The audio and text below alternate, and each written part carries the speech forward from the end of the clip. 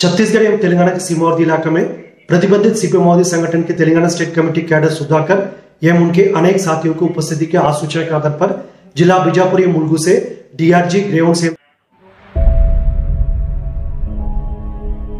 उक्त मुठभेड़ में शून्य एक नग एस एल आर शून्य एक नग आई एन एस एस दस नग रॉकेट शेल सहित भारी मात्रा में आर्म्स एम्यूनेशन रिकवर की गई।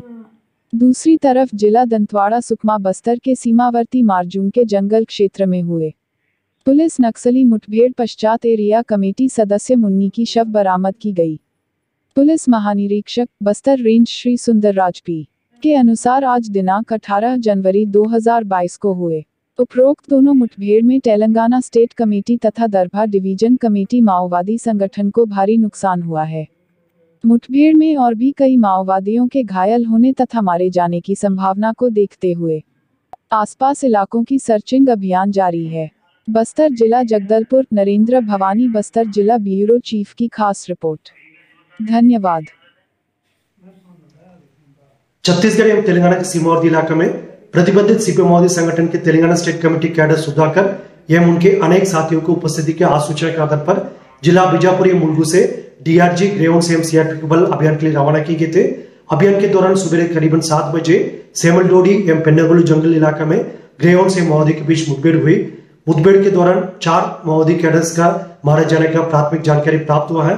अब तक सर्चिंग में एक महिला माओवादी कैडर सहित कुल तीन माओवादी कैडर्स के डेड बॉडी रिकवर किए गए थे।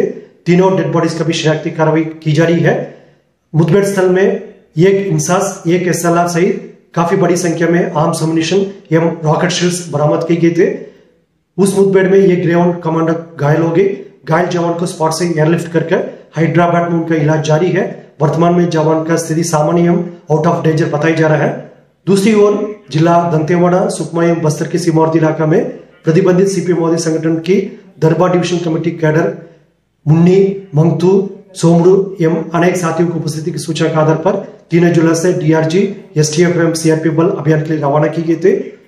अभियान के दौरान जिला सुकमा के डीआरजी टीम एवं माओवादी के बीच में मार्जुम जंगल में एक मुठभेड़ हुई।